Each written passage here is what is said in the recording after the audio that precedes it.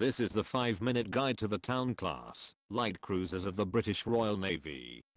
The Town class were a series of Royal Navy light cruisers built in the 1930s under the terms of the London Naval Treaty. These terms defined light cruisers as having a main armament no greater than 6.1 inches or 155 millimeters in caliber. A 10,000 ton displacement limit for cruisers had already been agreed at the Washington Naval Treaty. Unlike heavy cruisers, whose numbers as well as overall displacement allocation were limited, there were no numerical limitations on light cruiser numbers, but total tonnage limits were agreed. 143,500 tons for the US, 192,200 tons for the British, and 100,450 tons for the Japanese. All three major naval powers had identified a potential loophole in these restrictions which was that on a displacement of 10,000 tons, it wasn't really possible to build a heavy cruiser with a substantial 8 inch armament and a truly suitable armour belt. It was therefore conceivable that a light cruiser, with sufficient numbers of lighter, faster firing guns, could overwhelm a heavy cruiser. This led to the development of the Brooklyn and Mogami classes in America and Japan. Ostensibly, these ships were built right up to the 10,000 ton displacement limit, with varying degrees of actual compliance, and armed with 15 6 inch guns in five triple turrets. The Admiralty meanwhile needed a response, but they also needed to account for the fact that the British Empire had a far wider commitment radius and therefore needed significantly more ships spread out over the globe. This had been seen earlier with the Leander and the even smaller Arethusa class of cruisers. Therefore, the Town class as designed was supposed to be of a 9,000 ton displacement and mount 12 6 inch guns. Whilst each individual ship may have less firepower, it was hoped that the theoretical total of 21 ships that Britain could therefore build with this displacement would be able to cope in part via numerical superiority with the 14 American or 10 Japanese ships that would result from those nations sticking to their displacement limits with 10,000 ton designs.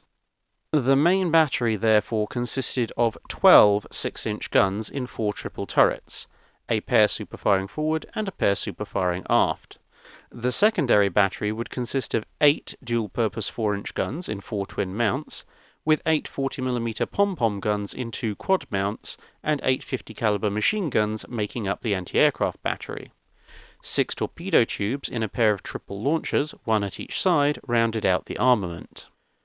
This actually gave the towns the greatest starting anti aircraft battery of the three nations' designs, but the least offensive firepower, not including torpedoes. The main guns were originally supposed to also be dual purpose AA guns, but as it turned out, the guns could not be trained or manually loaded quickly enough for continuous anti aircraft fire, so instead, a system was developed where the main battery could be loaded with time fused shells and then fired when the target aircraft reached a set range. Of course, the anti aircraft armament on all these ships would be substantially upgraded during World War II. The ships would be built in three distinct subclasses the Southamptons, consisting of the Southampton, Newcastle, Sheffield, Glasgow, and Birmingham. The Gloucesters, consisting of the Gloucester, Liverpool, and Manchester, and the Edinburghs, consisting of Edinburgh and Belfast. The differences between the first two subclasses were minimal, with the Gloucesters having a redesigned deck armour scheme and slightly thicker turret armour. However, the Edinburghs were substantially revised.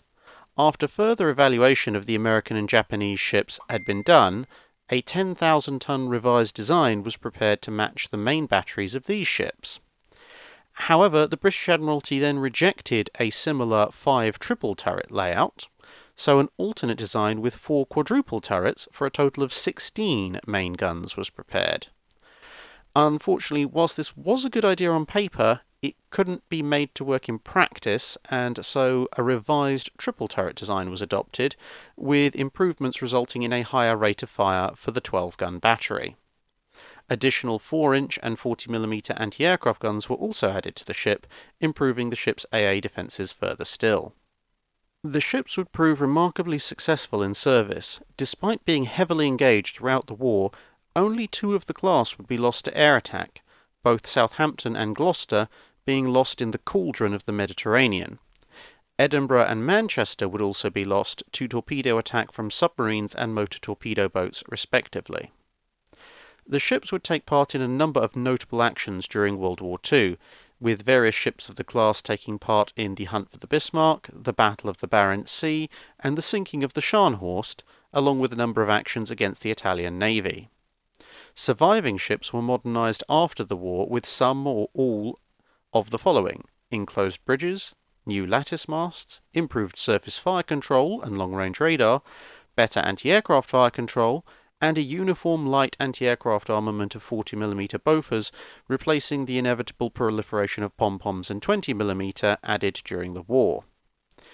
These ships would gradually be decommissioned and scrapped at the end of the 1950s and into the 1960s, with HMS Belfast being preserved as a museum ship currently moored in London on the River Thames. That's it for this video. Thanks for watching. If you have a comment or suggestion for a ship to review, let us know in the comments below. Don't forget to tag your question with Q&A if you want to leave a question for the dry dock.